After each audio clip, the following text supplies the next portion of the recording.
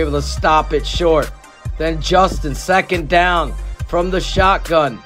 They're looking to set up a screen early in the game.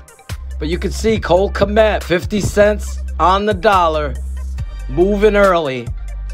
It's crazy, as Shane said. The Chicago Bears set this game up to be the Cole Kmet game, but they do a good job. Look at Nate Davis. I know he's getting a lot of crap here.